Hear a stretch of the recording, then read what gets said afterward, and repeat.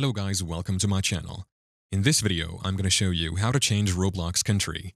Whether you've moved to a new country or just want to access region-specific content, it's easy to update your country on Roblox. Let's jump right in. First, open up the Roblox app on your smartphone. Make sure you're logged into your account. Once you're in the app, tap on the three horizontal dots in the bottom right corner to open the menu.